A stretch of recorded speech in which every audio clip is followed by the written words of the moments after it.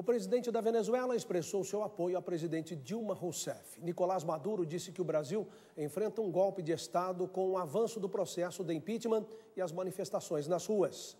Nicolás Maduro disse que falou com vários presidentes da América Latina e do Caribe que estariam preocupados com o que chamou de golpe de Estado midiático e judicial contra a presidente Dilma Rousseff e Lula. Em reunião com empresários do setor automotivo, ele afirmou que se trata de uma operação perigosa que afeta o comando democrático desses líderes históricos. E lançou várias mensagens nas redes sociais nas quais diz que era hora de lutar e pediu ao movimento populista da América Latina que se levante para enfrentar o golpe. Maduro acrescentou que os movimentos contra a presidente não eram mais do que uma ofensiva imperialista que visa por fim as forças progressistas e revolucionárias.